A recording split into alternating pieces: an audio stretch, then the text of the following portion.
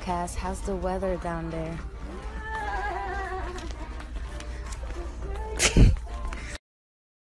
Trying to be taller over here.